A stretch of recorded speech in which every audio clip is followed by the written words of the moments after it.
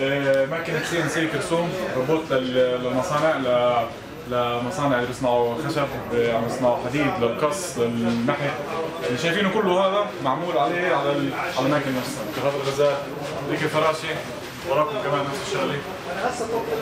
المواد اللي بتتقص وبتتنحت هنا هي بلاستيك نحاس الومنيوم خشب طبعا. آه، كل شيء شايش جرانيت زي صور هنا في كل اللي عملته انت ال- كلياته صناعة محلية صناعة معرضه من من من من خرقادين ملامات رخيب إلكترونيكا. لحد الميكانيك كلها هي صناعة محلية عرضه 100% ولا شيء من برا.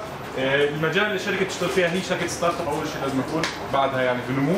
المجال هو مجال في المصانع مثل الرو- الروبوتات اللي بتلحق الروبوتات اللي بتقص في المصانع لا لخطوط ال- المركبيه بصورة باش تصوتوا بالماكينه ولا بعد؟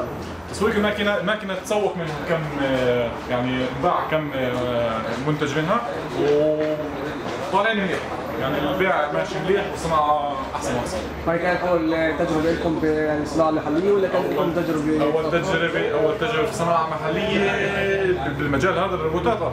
منين اجتكم هاي الفكرة؟ ليش هيك وجهه نظر؟ هاي الفكرة أول شيء مصانع فيش مصانع من هالنوع في الم- في المنطقة مش في المنطقة في كل البلاد حتى بكل في الشرق الأوسط أنا ما بعرف بالضبط. فيش مصانع آه، لروبوتات المصانع. أول آه، خلينا نقول آه، مصنع خلينا نقول مصنع شركة تشتغل هالشغل هو إحنا. آه، صار لها الشركة ست سبعة أشهر شغالة. و. شو اللي يميز الماكينه تاعتكم عن ال CNC موجود اليوم بالأسواق؟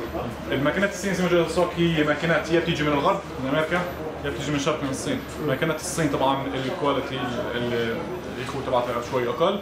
الأمريكيات أسعارها غالية. عملناه إحنا ربطنا بين السعر الصيني والكواليتي تبعت أمريكا.